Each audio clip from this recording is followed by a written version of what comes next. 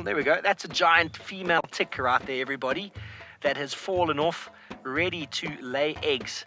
That is the kind of tick that these oxpeckers are professionals at grabbing.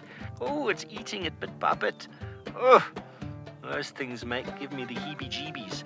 Female ticks, um, once they've gone through a number of larval stages, buffalo quite often being the last stage, and they will actually mate on the back of the buffalo, and the female will gorge herself so she's huge like that, and then fall off, lay eggs, and then die.